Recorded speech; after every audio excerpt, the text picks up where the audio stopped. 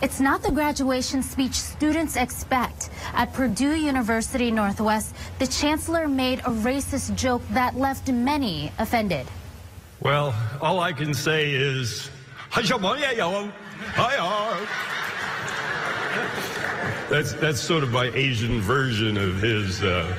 That's Chancellor Thomas Keon responding to an earlier speaker who said he made up languages to calm his granddaughter. Student Gerardo Garibay Jr. was present at the December 10th ceremony. He was surprised by the joke and described what happened after. I didn't hear anyone complaining much after uh, the comment was made. They just kind of kept going as if business business as usual. Keon came to the university in 2011. His resume includes a 2016 award for diversity and inclusion from the industry magazine Insight into Diversity. The university, located about a 40 minute drive from Chicago, recently ranked top 20 in the Midwest for campus diversity by U.S. News and World Report. I don't think that's not good for us.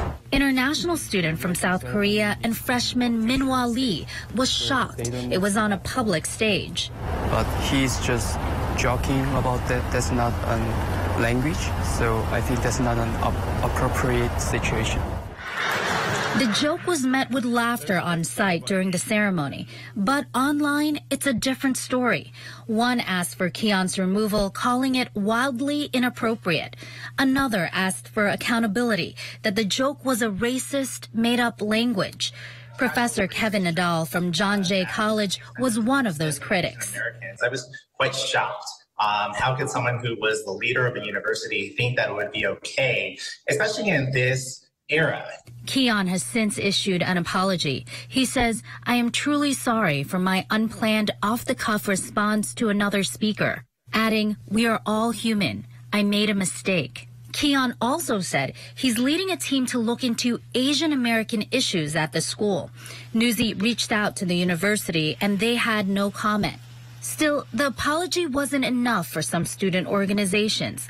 PNW Fight Back demanded his resignation. Over 100 students and supporters have signed a petition for his removal. Students at the PNW Marketing Club issued a statement saying they will not be collaborating with Keon or anyone directly working with him. I spoke with their president.